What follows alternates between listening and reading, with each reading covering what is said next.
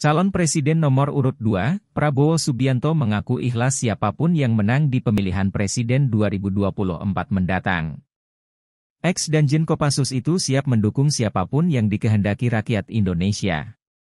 Menurut Prabowo, siapa pun pemenangnya yang terpenting persatuan dan kesatuan Indonesia tetap terjaga.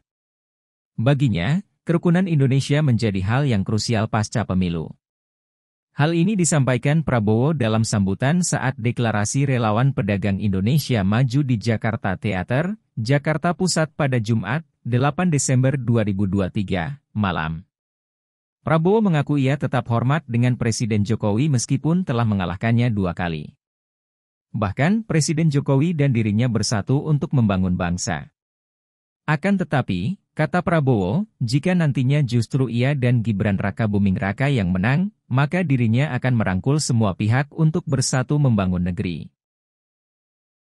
Download Tribun X sekarang, menghadirkan lokal menjadi Indonesia.